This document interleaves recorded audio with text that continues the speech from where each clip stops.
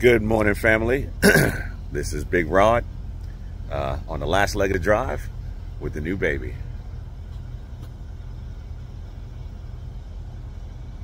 We're about to head into Richmond. I mean, Richmond.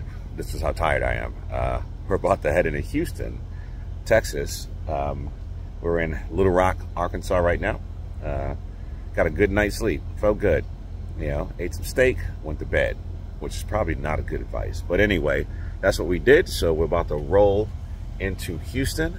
This is the last leg of the trip, as I said, and so far so good. I mean, the car's held, held up phenomenally. Now, I will say this. Um, what I've learned, right? Buyer beware.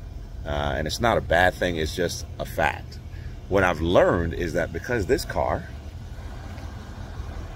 is a matted white, right? It's that Designo Madino white, cashmere white to be specific. Uh, the paint requires very specific care.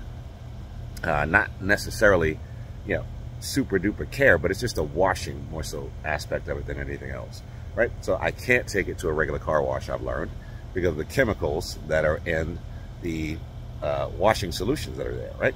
You can't use the same chemicals on a Matic car that you use on a um, car, right? Because it'll damage the mat.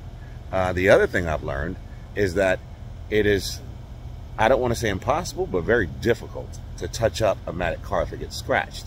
Um, there are things out there, products that I've seen online. I'm going to do some more investigating and I'll update this uh, channel uh, when time permits. But I guess it comes with exclusivity, right? I'm not mad at all. It was just a learning lesson. Like anybody who knows me will tell you that I'm a fanatic when it comes to keeping cars clean. Like I wash cars all the time. So it is what it is. But that's the deal.